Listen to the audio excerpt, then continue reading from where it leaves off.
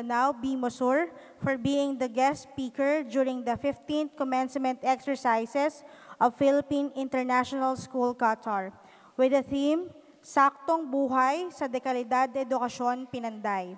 Given this 28th day of March 2015 at Qatar National Convention Center, Doha, State of Qatar, signed Luisa K. Mendoza, Principal.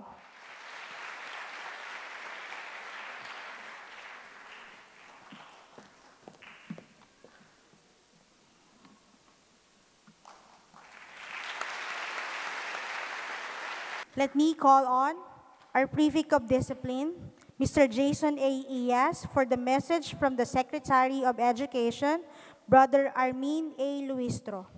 To our honorable guest, Honorable Gunaranao Bimusor, sir. Our head of the Administration and Finance, Ms. Vila Ingilio.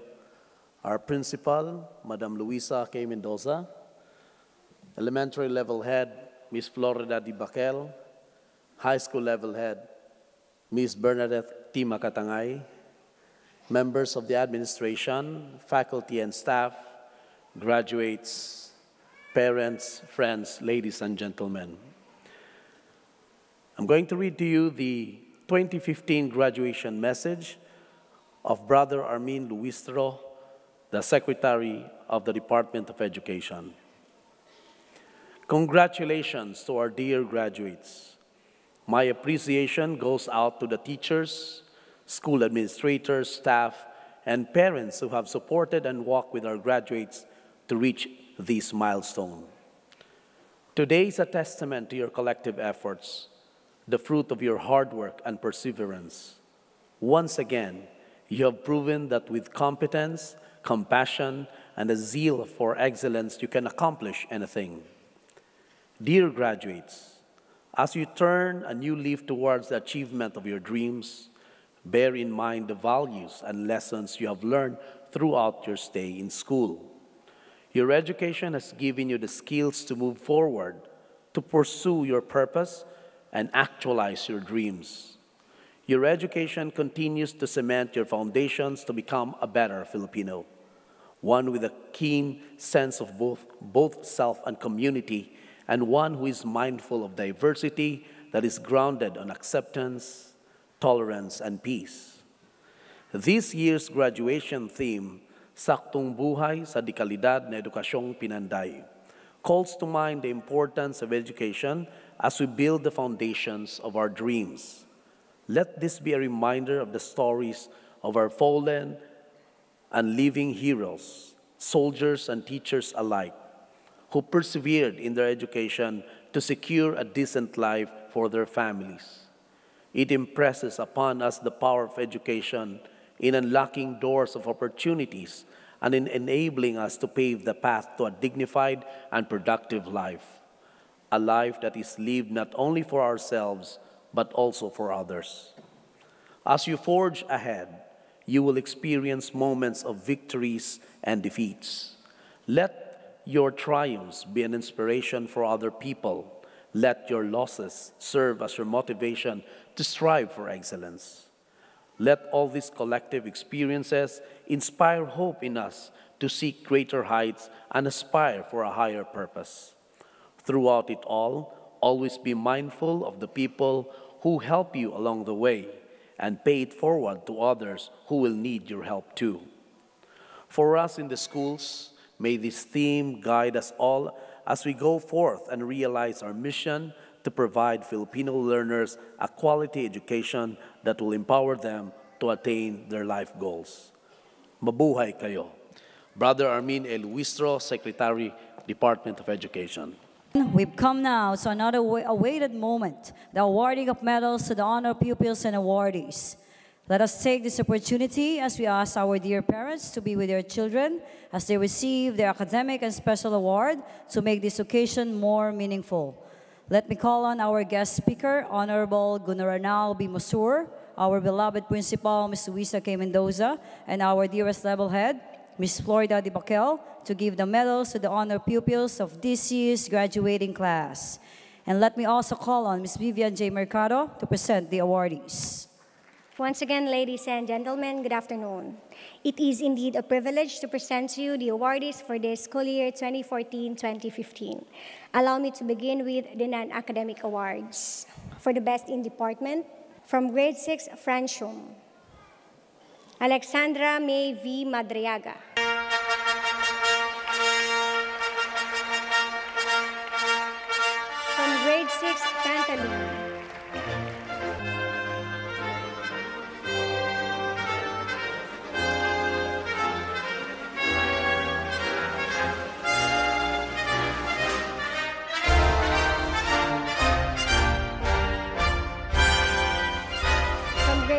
Grade 6 Tantalum, Elijah Mariel D. Tatlonghari.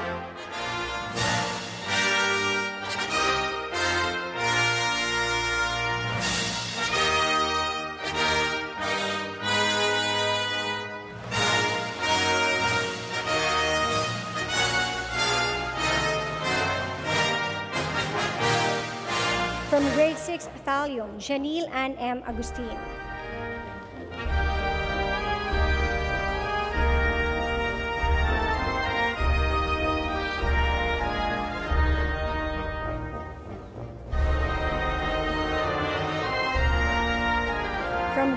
6 Thorium, Jamaica Hyacinth A. Lat.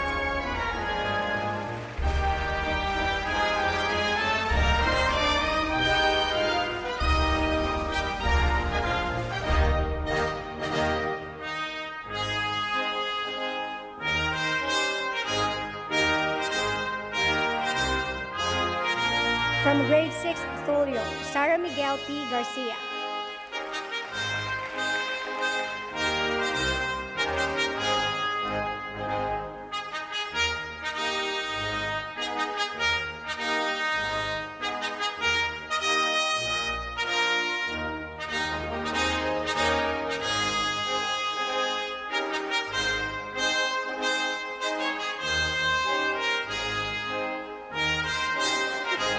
From grade 6 teen, Jana Elaine B. Hermoso.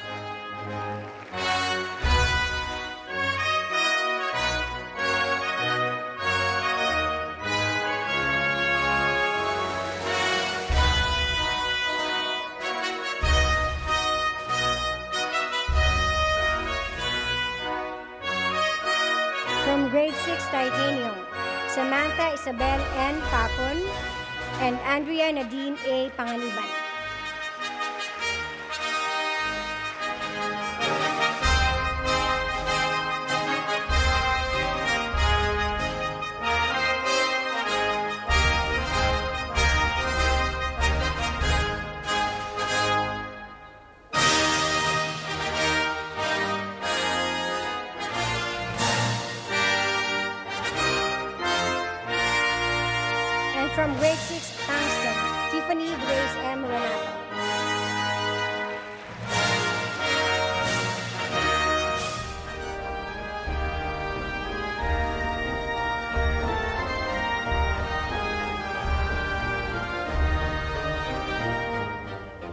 Move onward to the best in co-curricular activities.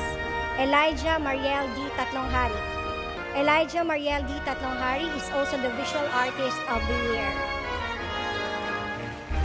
And at the same time, a recipient of the Leadership Award for being the president of the student body, the Supreme Pupil Government.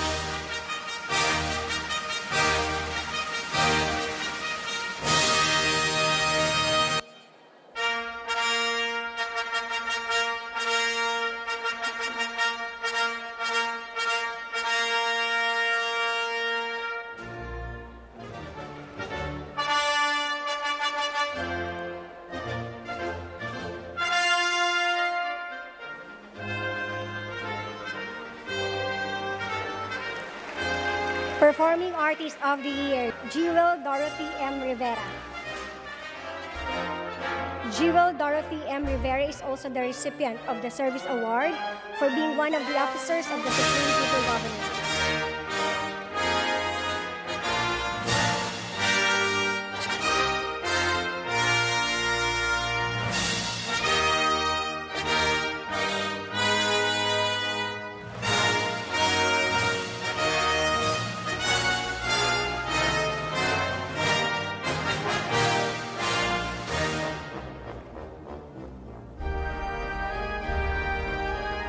Other service awardees, Janille Ann M. Agustin.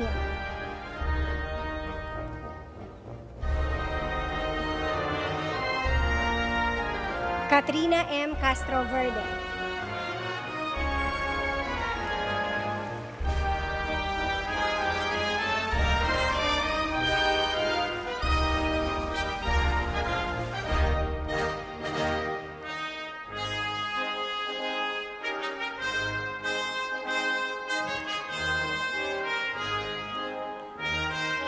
Ishan Jade D14.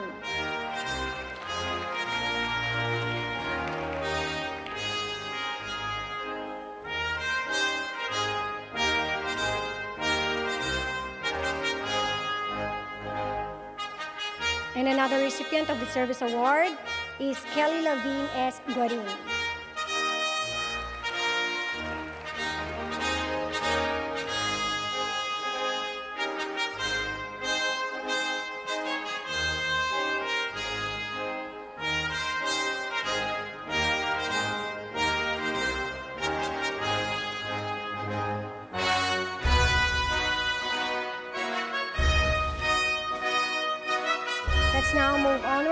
Outstanding Boy Scout, Ian Joseph M. Reyes.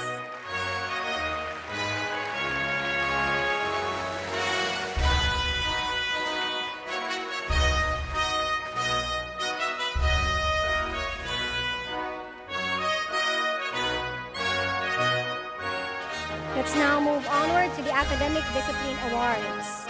For the best in English, Elijah Mariel D. Tatlonghari.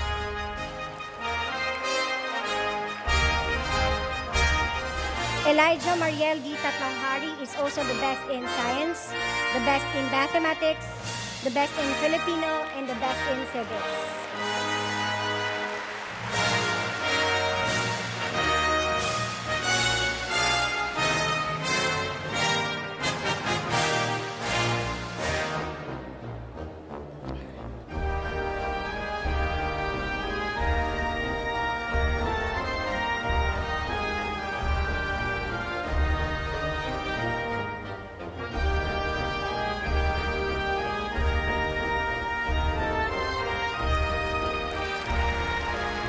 The most awaited moment for the academic awards. For the eighth honorable mention, Christine May M. Garcia.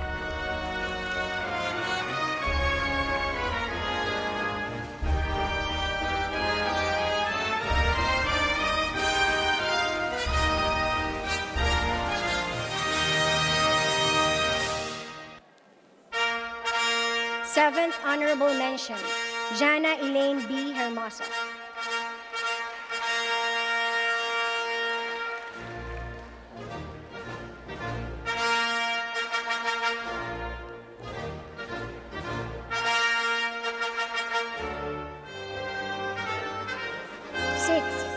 Honorable mention, Hayden Christensen B. Tuazon.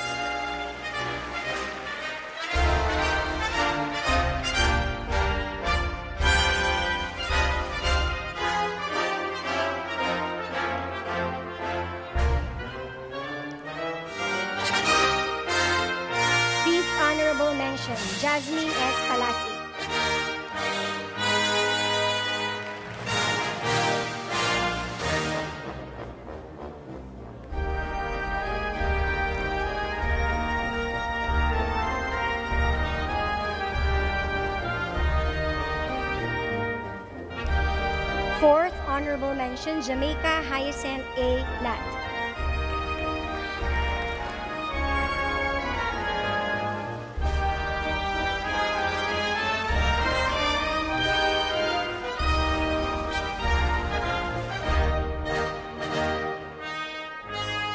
Third honorable mention, Alexandra May V. Madriaga.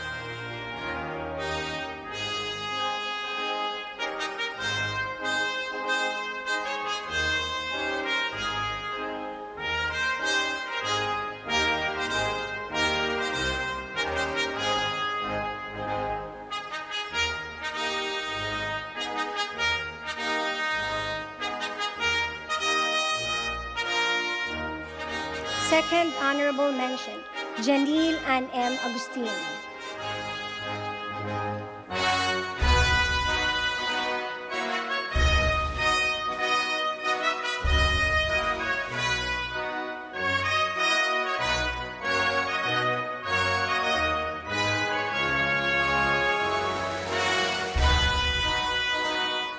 First honorable mention, Sara Miguel P. Garcia.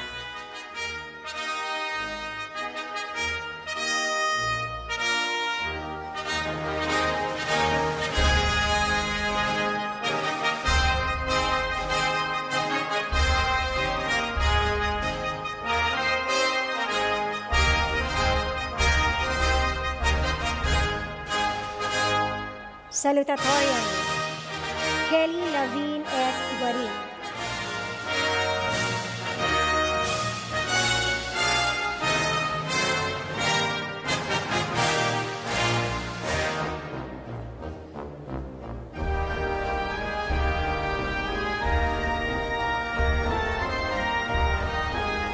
And for this school year's valedictorian, let's welcome Elijah Mariel D. Tatlonghari.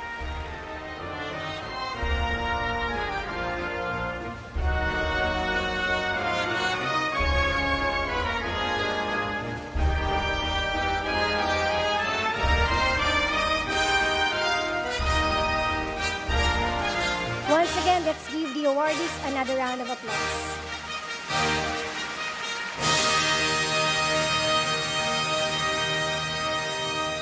Congratulations again to all our awardees. Another round of applause, please.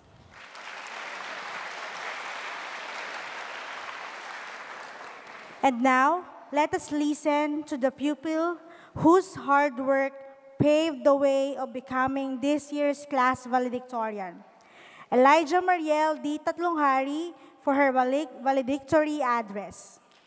To our distinguished guest, Honorable Gunaranao B. Musur, our Head of Administration and Finance, Ms. Vila A. Ingilio, our beloved school principal, Ms. Luisa K. Mendoza, our department head, Ms. Florida D. Bacel, administrators, teachers, parents, friends, classmates, guests, ladies and gentlemen, good afternoon.